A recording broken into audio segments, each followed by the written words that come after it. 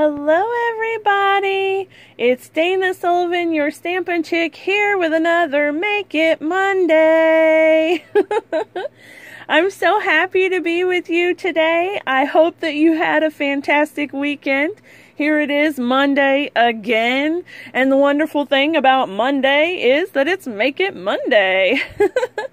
so today's project is actually going to be um, another technique this is one that I have um, known about for a while, but I've kind of been afraid to try it, or maybe I've just been too busy. To be honest with you, I don't really know why I haven't tried this technique before. I just know that, oh my goodness, my mind is blown.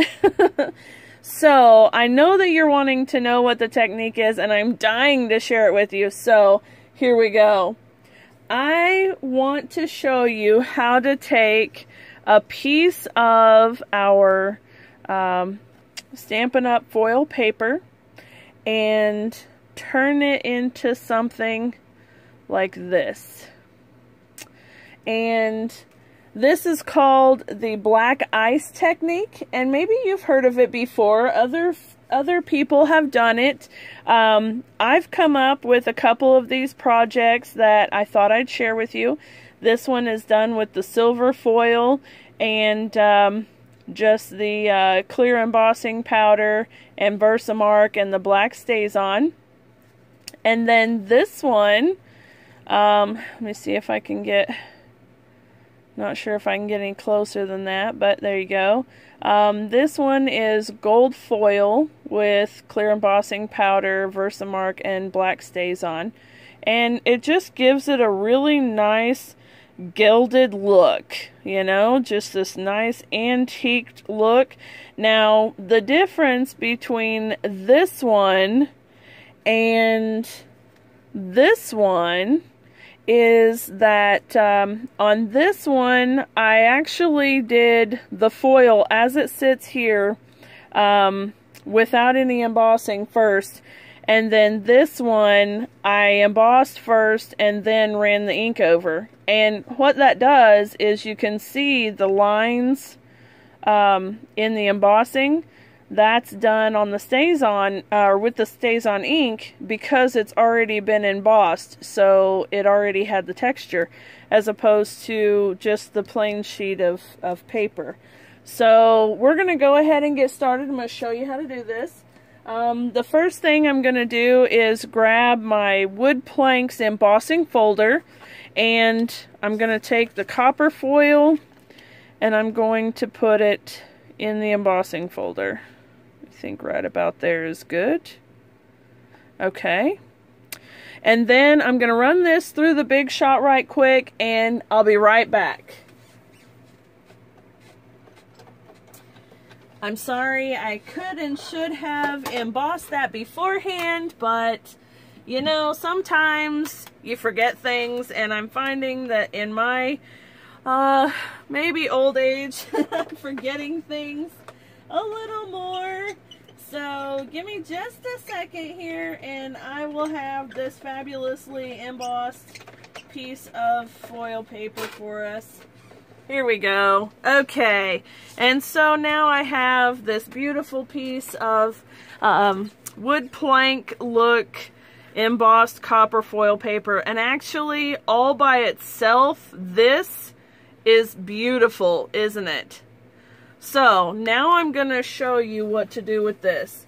The first thing you're going to want to do is get your scratch paper out and you're going to need the black StazOn ink. You're going to need Versamark. You're going to need your clear embossing powder and your tray and then your heat gun. Okay? So after you've embossed your foil, you want to go ahead and take your StazOn ink and you're just going to drag it across the paper like this. And I hope that the camera is picking up all of the detail of the wood planks because it's actually pretty spectacular. Here we go.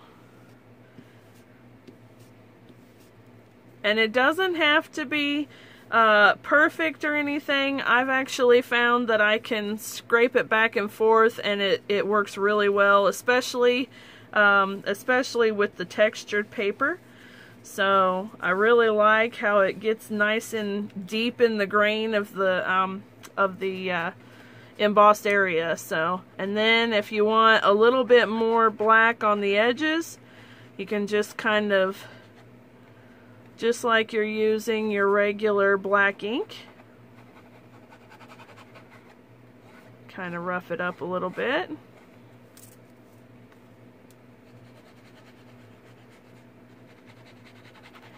There we go. Oh, this is looking really pretty.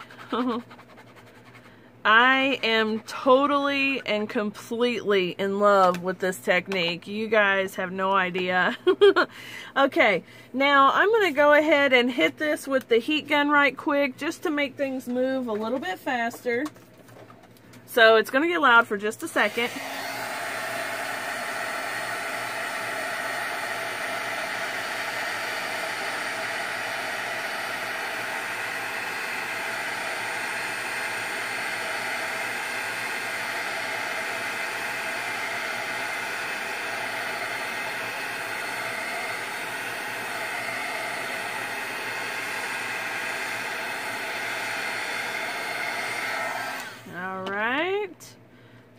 Make sure that it cools down right quick.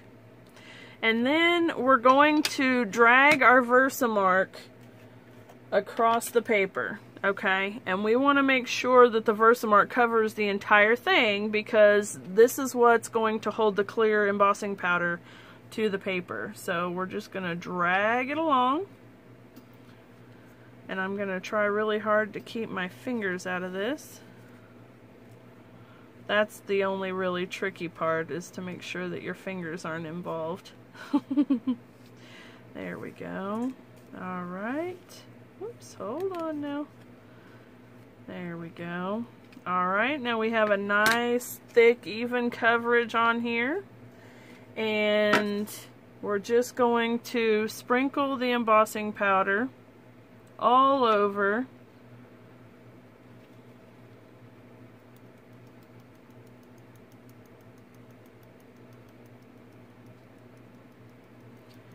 And we're not too worried about missing any of it just yet because we're not going to miss any. And I'm just going to go ahead and dump the rest of my powder in there. okay, here we go. Well, that worked out well, didn't it? okay, and then we want to go ahead and tap it down. And then I kind of touched it right there, so let's just do that. Alright, there we go. Okay, now what we're left with is um, embossing powder covering the whole piece. And we're going to get loud again. So let's turn the embossing gun on. And it's going to go relatively quick now because the gun is pretty warm. So I want to see if you can see the magic happen. You see it turning? Isn't that gorgeous? I am absolutely, totally, and completely in love with this technique.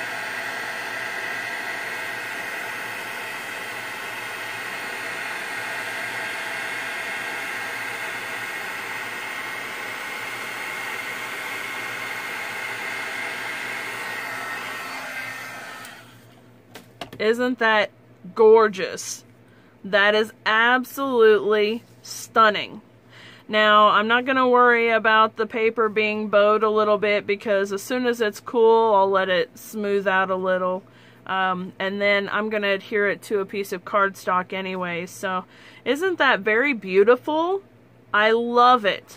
This is actually why my Make It Monday video is so late this week because my downline was here with me this evening and we were playing and lost track of time. Um, this piece here, uh, is actually, you notice that the detail is not as pronounced in this one, and that's because I've actually embossed layer upon layer upon layer of um, different embossing colors.